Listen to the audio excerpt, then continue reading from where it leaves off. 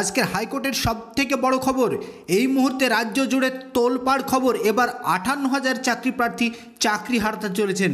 আজ ডিভিশন বেঞ্চেও নাস্তানাবুদ হলো পর্ষদ। এতদিন অভিজিৎ গঙ্গোপাধ্যায়ের সিঙ্গেল বেঞ্চে নিয়োগ নিয়ে একাধিক নির্দেশ জারি করেছে।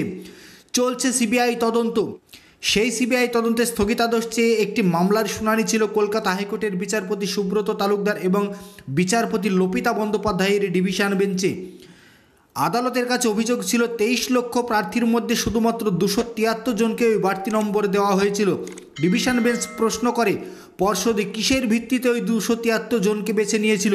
বেঞ্চের পরের প্রশ্ন প্রশ্ন ভুল থাকার জন্য যখন পরীক্ষার্থীদের বাড়তি এক নম্বর দেওয়ার সিদ্ধান্ত হলো তখন তা সমস্ত পরীক্ষার্থীকে দেওয়া হয়নি কেন? এরপর যথাযথ উত্তর দিতে পারেনি পর্ষদ। ডিভিশন বেঞ্চে নাস্তানাবুদ পর্ষদ, অনিশ্চিত আটান্ন হাজার প্রাথমিক শিক্ষকের ভবিষ্যৎ, আদালতের কাছে অভিযোগ ছিল তেইশ লক্ষ প্রার্থীর মধ্যে শুধুমাত্র দুশো তিয়াত্তর জনকে বাড়তি নম্বর দেওয়া হয়েছিল, বাকিদের সেই নাম্বার দেওয়া হয়নি। কিন্তু কেন দেওয়া হয়নি? তার যথাযথ কোনো উত্তর পাওয়া যায়নি।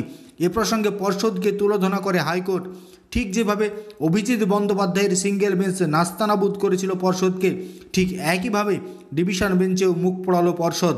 বিচারপতিরা পর্ষদের কাছে সরাসরি জানতে চান, প্রশ্ন যদি ভুল থেকে থাকে, তবে কৃতকার্য, অকৃতকার্য সব প্রার্থীকেই এক নম্বর করে বাড়ানো উচিত ছিল কি না কেন এই বৈষম্য করা হয়েছে? তখন পর্ষদের আইনজীবীরা বলেন, আইন মেনে শুধুমাত্র প্রশিক্ষিত প্রার্থীদেরই বাড়তি নম্বর দেওয়া হয়েছে। পাল্টা আদালত জানতে চায়, কোথাও কি বলা হয়েছিল? যারা ওই প্রশ্নের উত্তর দিয়েছেন বা দেওয়ার চেষ্টা করেছেন, তাদেরই নম্বর দেওয়া হবে। এর জন্য আগে থেকে কোনো বিজ্ঞপ্তি প্রকাশ করা হয়েছিল কি? সেই প্রশ্নেরও যথাযথ উত্তর দিতে পারেনি পর্ষদ। ফলে ডিভিশন বেঞ্চে নাস্তানাবুদ রাজ্যের অনিশ্চিত আটান্ন হাজার প্রাথমিক শিক্ষকের ভবিষ্যৎ।